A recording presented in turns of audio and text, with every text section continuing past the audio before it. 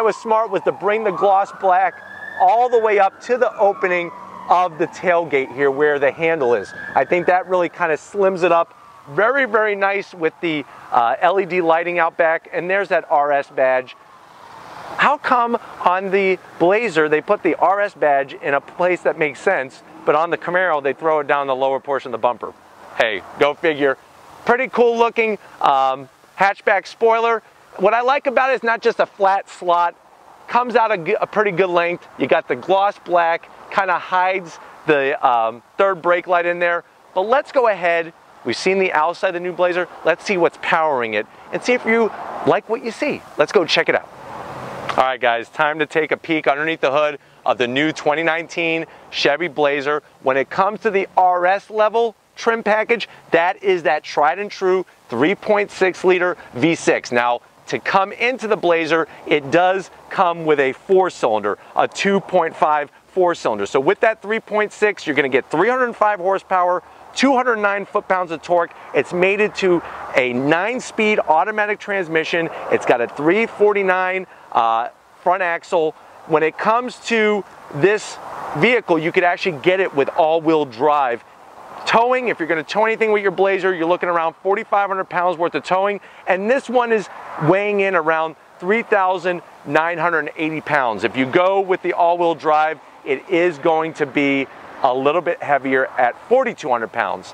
What's interesting, there's lots of room here to put something different, maybe a V8, but with this V6, even though with the larger engine, lots of room, not really impressed with what the engine cover looks like. Now, I'm glad it's not some big, huge aircraft carrier looking thing, but did somebody actually put effort into this? But at the end of the day, how many Chevy Blazer owners are gonna pop their hood and be like, wow, check out that engine. I do like the way the whole Chevy lineup comes with the hood struts, no uh, pop rods or anything like that to pop up your hood.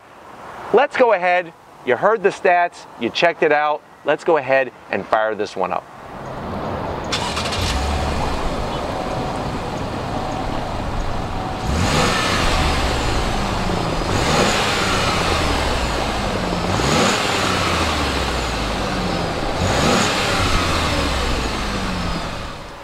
All right, guys, here we are inside the 2019 Chevy Blazer RS. Let's start with the door panels. I really like the fit and finish, and I like the quality of materials. You got wonderful leather on the armrest, goes all the way into the door pull. You got some of that um, nice gloss black plastic there. Really gives it a high upscale feel, breaking up the sea of just your traditional harder plastics. Now, at the top of the door panel, I'm quite surprised by the window. It is harder material. But once you transition from the door into the dash, I like what they did with the RS package. You get this nice red chrome finish on the uh, all the AC airlets. You have nice softer material on the dash with the red contrast stitching. There's that gloss black that follows, not a ton, then you have, in this particular trim level, an 8-inch infotainment screen.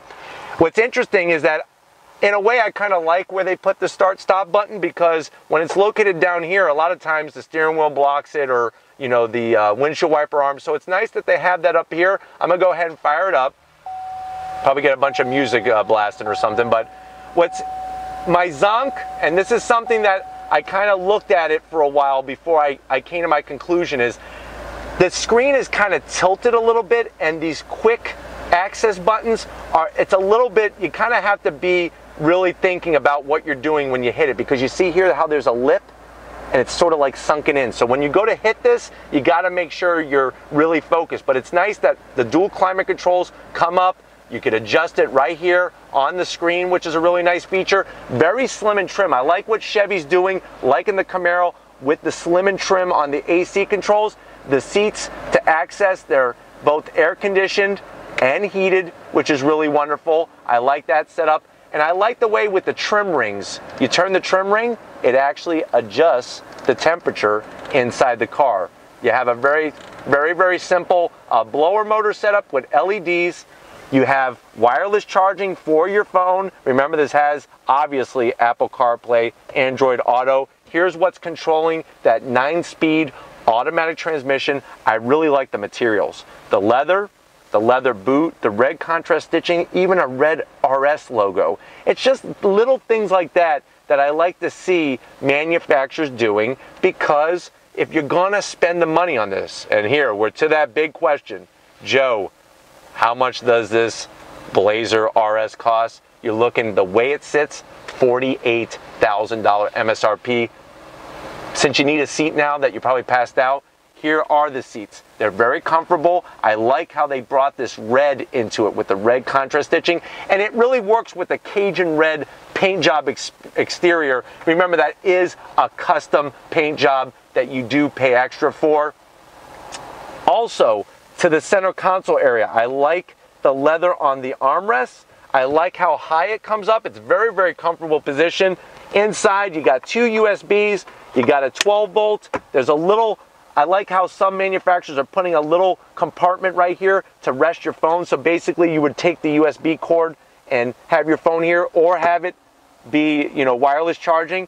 This knob, this is pretty cool. And I'll show you this when you come over the driver's side, but you could actually go through different modes with the mode selector. This is a really, really nice setup. Why don't you come on over here and I'll show you the business end of this Blazer RS. All right guys, business end of the Blazer RS. I love the steering wheel. I wish it was a little thicker. So I'm gonna zonk the thickness of the wheel, but I like the materials being used. I like the red contrast stitching, and I'm really digging these little info wheels to go through all the information on the center display there. Great size, great font, great color. As you roll the thumb uh, wheel, it's just really nice to see all the different features that you can go through. You have an analog tachometer over to the left, and you have then some digital information like your coolant temp, your uh, volts from your battery, and then you have an analog um, temperature gauge, and then also your fuel gauge as well. So that's a really, really nice touch. I love how comfortable is. The seats, pretty good length. You have full eight-way adjustable seats, so you could fit this to contour your particular body sunroof.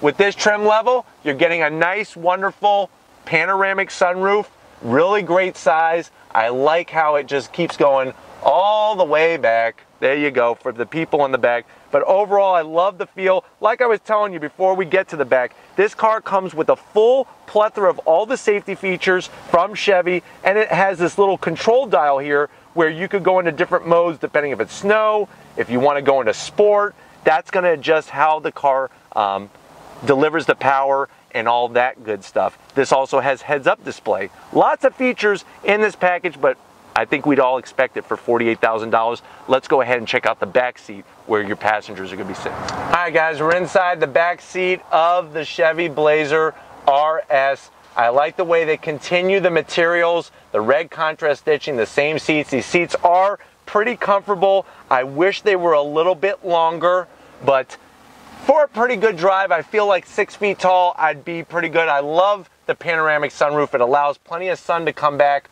for the passengers. USB connectivity. You know what's interesting about this Blazer? Here's a little tidbit. It has, it's a five passenger, right? Two in the front, three in the back. We actually have six USB ports. If you add them all up in the car, you have your household power source, and rear AC vents, which is important um, not only for the passengers, but for also at this price standpoint. I did not move the seat, so if you're six feet tall, this is where your seat's gonna be positioned. I got lots of room back here. That's the great thing. Roof is plenty of room. Let's go ahead. We're gonna check out the tailgate. Let's go check it out. All right, guys, time to see how much junk can you put in the trunk, the tailgate area of the new Blazer RS. You hit the button on the key fob, up she goes, nice power tailgate, and you could see what surprisingly, especially what I was thinking was, I thought this would be a lot more narrow. It's very, very wide opening. You can get that 80 inch TV real easy back here. What's kind of interesting is that Chevy designers decided to use this um, metal uh, rail system where you could actually take this little divider and you could slide it forward and back very easily, but lots of space. You're obviously gonna get the full usability of putting those seats down. It's a 60-40 split. I like the LED lighting back here. all you do is you pull that and down she goes. Very, very easy to utilize and just a great place to be able to put so much stuff because at the end of the day, there's a lot of you have kids, have family, got to get the stuff, got to get the kids to hockey practice and all that, and get the stuff in the back of your Chevy Blazer. But if you're ready, talking about this is great. If you're ready, I'm ready to take this Blazer for a spin. Let's go check Guys, it out. Guys, we're leaving Moss Family Chevrolet in the 2019 Chevy Blazer RS. I'll be honest, lots of space right here, feels good. I like the visibility out the side windows, the front, and the back. The navigation, the infotainment, very nice size. My only problem, like I said, it's a little bit tilted and it's a little bit difficult to get your finger to make sure you're hitting the right one that you want. Overall, very comfortable. I like the actual placement of the steering wheel. It does have an electric telescoping and uh, fully adjustable steering wheel. Infotainment in the center here, great display. You use your little thumb drive and you could go through whatever features you need to. I think the bigger question is uh, that a lot of you are saying, what about that 305 horsepower from the 3.6 liter V6? Let's go find out. Get on the loud pedal. Takes a second to drop down, but when it does, it's off. For an SUV, it is actually handling really good in this long left sweeper, even over the bumps. You can put this in manual shift mode if you want to, but I'm just gonna leave it in that uh, automatic shift mode. Steering has a nice feel to it. It's not too uh, artificial. Um, I wish the steering wheel was a little bit thicker. I think on the RS, you need a thicker steering wheel and you need that RS badge. Let's see what, how it transitions from left to right.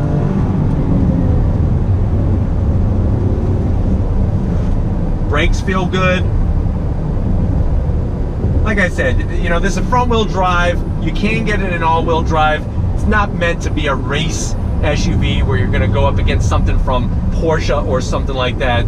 But, uh, you know, it's just one of those things where it gives you options in that crowded SUV market. It seems like everybody has, every brand has their, their 15, 20 SUVs they make.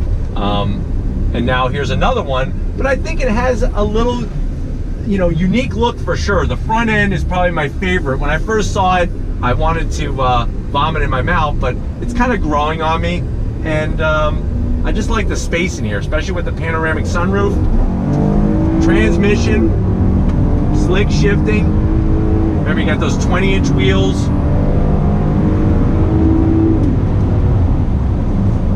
Not too shabby. Not too shabby for an SUV. Seats, they're comfortable, but if you're doing any kind of aggressive driving, they're not going to hold you into place very well. Um, maybe that's another place I'm going to zonk. So some zonks for the interior from the driving. I would like to have a little bit more bolstered seat in the RS uh, Blazer trim level. I would like a little thicker steering wheel. Maybe uh, do something about this lip with the infotainment here. Um, but other than that, very clean. I like how there's buttons, but not a ton of them. They're placed very well. You can control your AC. What's interesting is if you look right here on the dash, um, you have, it's kind of funny. Does Chevrolet want you not to shut the traction control off? Because that's like the furthest reach of a traction control off button I've ever seen. It's like, you really gotta earn it to hit that button. Another one is the electronic glove box release. So you hit this button, down it goes. Get your gloves so that you could go uh, and race through your curvy roads in your backyard somewhere where you live. Um, over bumps, nice and smooth. Let's go ahead, we're gonna take it out onto uh, some highway here to see how she feels at a nice steady speed um, in traffic. All right guys, rolling out. Let's see that nine speed in action. Drops down, it's not as good as the 10 speed.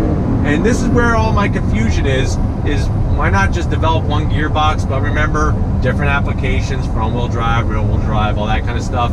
Not as good as the 10, but pretty, pretty good when it comes to your standard automatic transmission. This isn't a DCT or anything like that. I like the frameless mirror, cruising along, quiet, comfortable. The one thing, like I said, if you want to put your arm up on the side of the door here, knock knock, who's there? Hard plastic.